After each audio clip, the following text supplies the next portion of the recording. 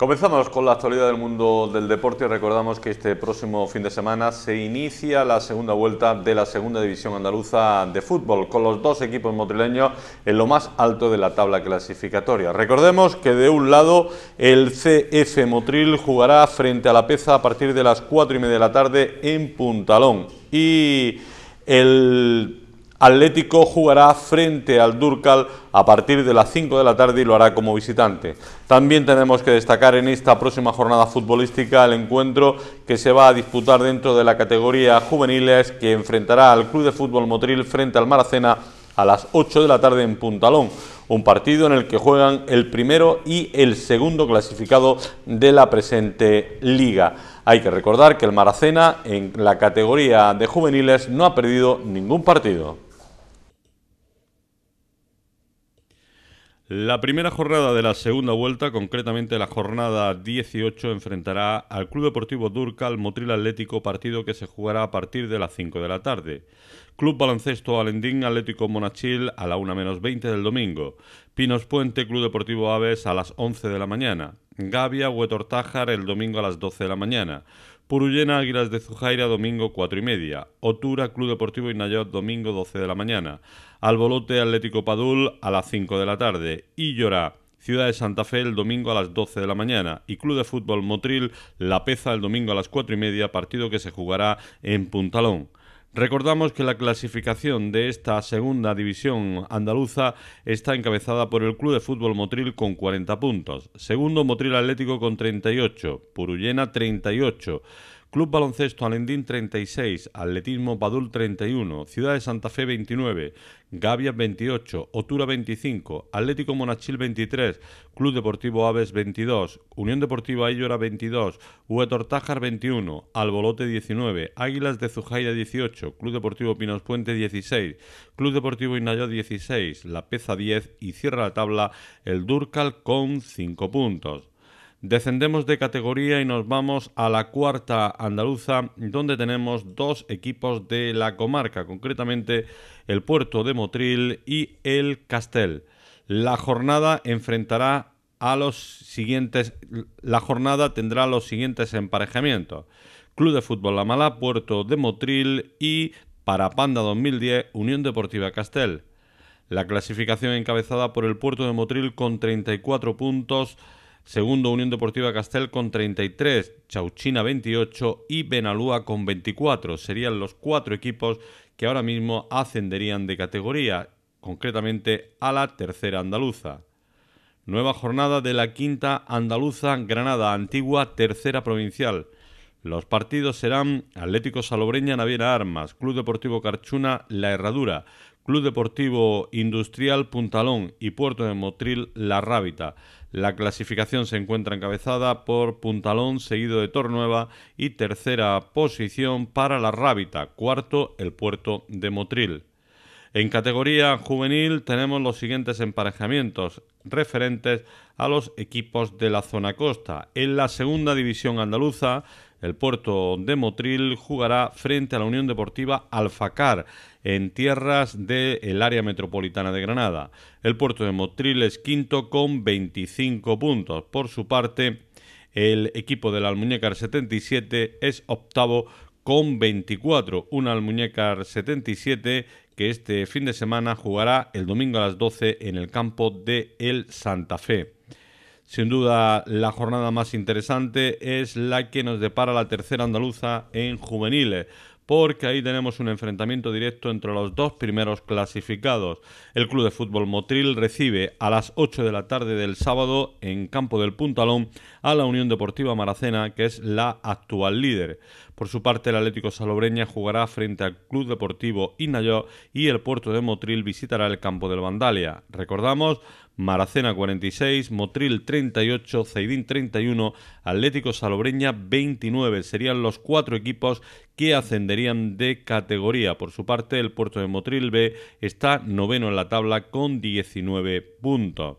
Y recordamos que el enfrentamiento entre el primero y el segundo tiene el aliciente además de que hasta el momento el Maracena no ha perdido ningún partido en el presente campeonato, por lo tanto se considera como muy importante para los motrileños en la horrilla conseguir esa victoria que podría acercarle a la primera posición de la tabla clasificatoria. Nos vamos a la categoría cadete en la segunda división andaluza, Unión Deportiva Motril, Estrella de la Chana B, partido que se jugará a las seis y media de la tarde. También está el puerto de Motril que visitará el campo del Santa Fe sábado a las 3. Recordamos que en esta categoría noveno es la Unión Deportiva Motril con 23 puntos, mientras que el puerto de Motril ocupa la decimosexta posición con un punto. En la cuarta andaluza, Grupo Granada, una categoría con muchos equipos de nuestra comarca, tenemos los siguientes emparejamientos. Unión Deportiva Motril B, La Herradura el sábado a las 4. Unión Deportiva Maracena, Órgiva, sábado a las 12 de la mañana. Puerto de Motril, La Malá, Juventud Sexitana, Atlético Salobreña el domingo a las 10 y media. Unión Deportiva Monachil, Armilla el sábado a las 10 y 25. Cuyar Vega B, Cultural a Saco el domingo a las 12 menos cuarto y Calahonda Unión Deportiva Castel. En esta categoría, Calahonda es tercero con 30 puntos. Quinto, Unión Deportiva Motril con 26. Sexto, Cultural a Saco con 25. Juventud Exitana tiene 19. Órgiva está situado en decimoprimera posición con 12. Décimo es Castel con 15. Puerto de Motril es decimosegundo con 6, Atlético Salobreña decimotercero con 4 y cierra la tabla el Cuyar Vega con un punto. Nos vamos a la segunda andaluza infantil.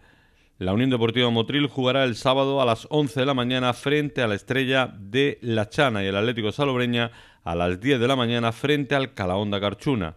La Unión Deportiva Motril es tercera con 37 puntos a 5 de el Ciudad de Granada. Por su parte, el Almuñécar 77 ocupa la decimoprimera posición con 18, decimosegundo Atlético Salobreña también con 18, Calahonda es cuarto con 31. Cuarta andaluza, Unión Deportiva Motril, La Herradura, Armilla, Órgiva, Juventud Sexitana, Atlético Padul, Club Baloncesto Alendín, Cultural a Saco. Le tocarán descansar al puerto de Motril, Ojíjares y Albuñol. Y recordamos que en esta categoría la Unión Deportiva Motril es primera con 30 puntos. Órgiva es tercero con 21. Puerto de Motril es cuarto con 19. Séptimo Cultural a Saco con 12. Por su parte, la agrupación deportiva Albuñol es décimo primera con 11 puntos. Segunda andaluza Alevines. Cafetería Siglo XX recibe a la Unión Deportiva Maracena. Cafetería Siglo XX está en decimosegunda posición con 18 puntos y se encuentra a 4 puntos por encima ahora mismo del descenso.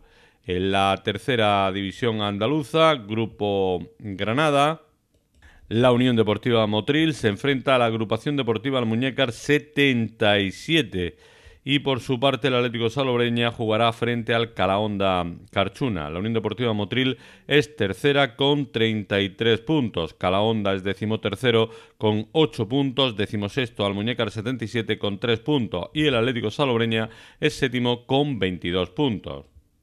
Nos vamos al fútbol sala, concretamente a la división de honor de juveniles en el grupo primero, donde hasta el momento el equipo motrileño marcha en segunda posición de la tabla clasificatoria. Pues bien, la jornada decimosegunda será Melilla Unión Deportiva Maracena, Loja Mutrayil, Bayana Monsul Club Deportivo Elegido, Ojíjares Vícar, Atlético Linares Peña Barcelonista, Maristas Menciana. Primero, Atlético Linares con 28. Segundo, Mutrayil con 26. Maristas es tercero con 22. Bayana Monsul 21. Vícar 20, Peña Barcelonista 13, Club Deportivo Elegido 12, Unión Deportiva Maracena con 12, Menciana con 11, Melilla con 11, Loja con 7 y Ojíjares con 7 puntos. Un partido sin duda importante para los motrileños si quieren seguir aspirando a ser el primero del campeonato, que es el que le da derecho a jugar en la próxima edición del Campeonato de España. Y mañana sábado se pondrá punto y final al quinto circuito área de deportes que organiza el Ayuntamiento de Motril dentro del apartado de ajedrez. una competición en la que participarán los 20 mejores jugadores de cada categoría en base a las distintas pruebas que se han venido celebrando a lo largo del 2014 y organizadas por la Motrileña de Ajedrez.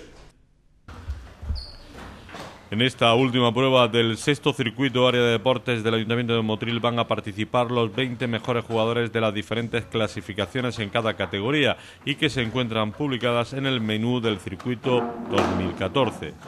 El Club Deportivo La Motrileña de Ajedrez ha organizado los abiertos del Centro Cultural San Antonio, Molvízar, Las Angustias, Navidad y Torneo de Reyes. Y en base a esos resultados se ha establecido una clasificación general. Solamente hacer saber que desde aquí animar a la gente que este torneo final, ya como es ya tradicional, la puntuación es el doble a los demás torneos del circuito y por lo tanto que todavía hay muchísimo en juego. La puntuación al ser doble, recordamos que el campeón se lleva 50 puntos, el siguiente 36 puntos, es decir, que puede haber muchísimas apariciones todavía y todavía no hay nada decidido, aunque haya alguna categoría que esté un poco más clara que las siguientes. Pero bueno, que es importante que la gente lo sepa y sobre todo que, se anime y que estén aquí con nosotros, sobre todo ofreciendo, intentamos hacer eh, junto con el área de deporte, ofrecer una ajedrez de calidad y unas organizaciones con mucha imparcialidad y mucha transparencia. Y también el sábado, aunque aproximadamente sobre la una y media de la tarde, se reanuda la competición del quinto circuito área de deportes de tenis una competición que se tuvo que suspender el pasado fin de semana a consecuencia de la lluvia. el torneo se reinicia desde las semifinales y tiene la previsión de entrega de premios en torno a la una y media en las pistas municipales.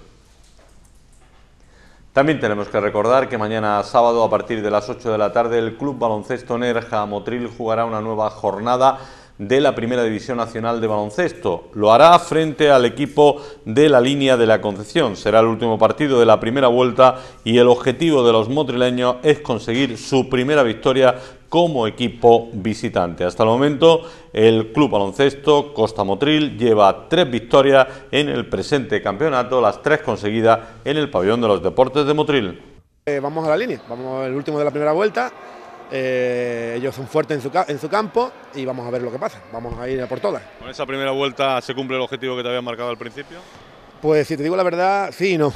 Yo eh, en principio creía que íbamos a estar mm, con mucho más problemas, eh, pero luego viendo los partidos mm, también hemos perdido esos partidos que te he comentado, que hemos estado compitiendo, que hemos perdido de poco, que si lo hubiéramos ganado a esos tres rivales, que prácticamente tuvimos el partido ganado, incluso el otro día en marzo en la prórroga, pues estaríamos entre los tres, cuatro primeros. O sea que a inicio de, temporada estoy contento, pensando en el inicio de la temporada, luego transcurridos los partidos yo creo que podíamos haber estado en la primera vuelta un poquito más arriba. De todas formas, visto lo visto, parece que la segunda vuelta va a ser mucho mejor.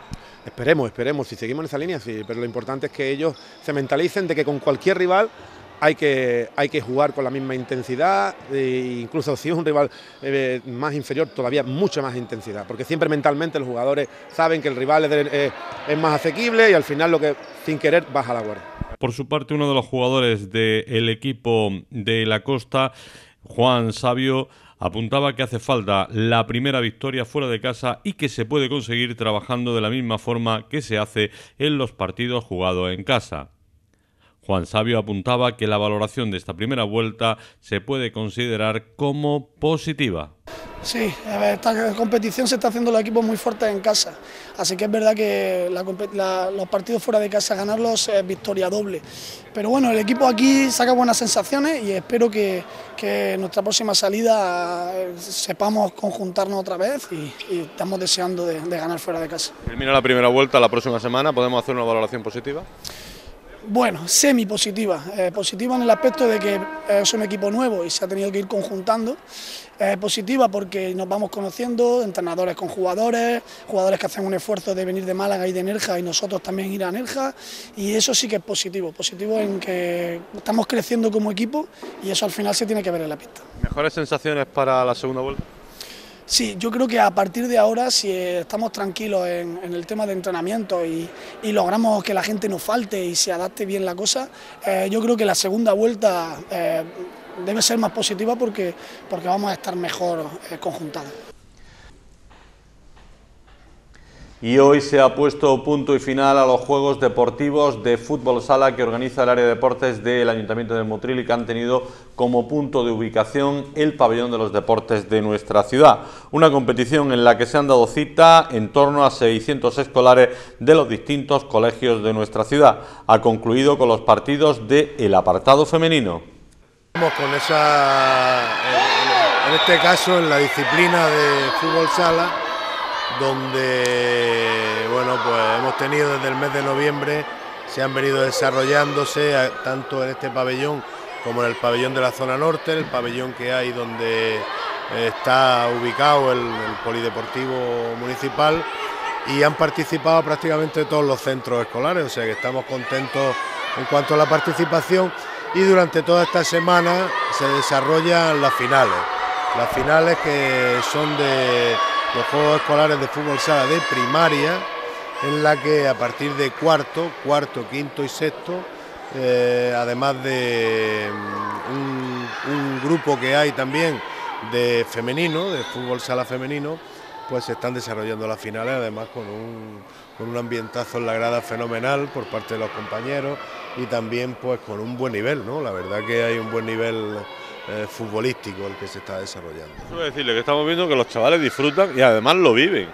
Sí, bueno, muchos de ellos ya juegan, ¿no? Es decir, el nivel no es fruto de la casualidad porque muchos de ellos juegan en algún club o incluso en las escuelas deportivas municipales de fútbol sala también, ¿no? O sea que el ambiente el ambiente es bueno, la final está apasionante, son los cuatro primeros clasificados de la fase previa los que participan esta semana en la final y bueno, hay muy, buen ambiente.